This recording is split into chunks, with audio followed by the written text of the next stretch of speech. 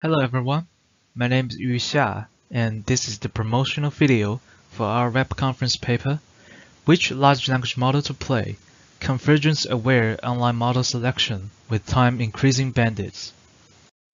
Suppose we have a set of candidates large language models with different parameter sizes and different architectures. And we also have a downstream task, for example, the text summarization task.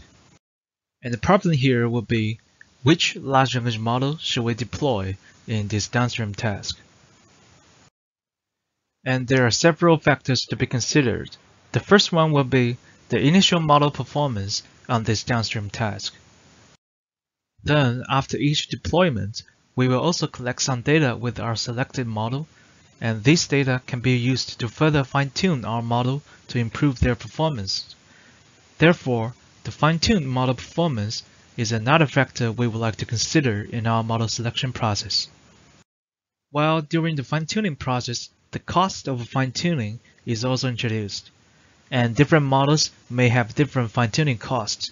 For example, larger models may incur higher costs, and this is the third factors that we think is necessary to be considered in the model selection process.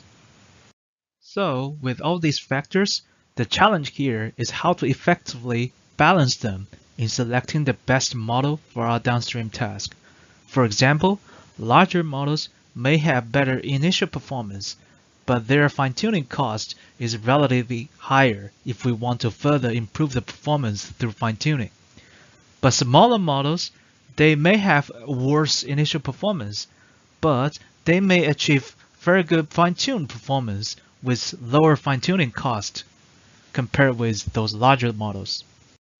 The solution proposed in our paper is that we formulate this as a multi-arm bandit problem with each language model as an arm.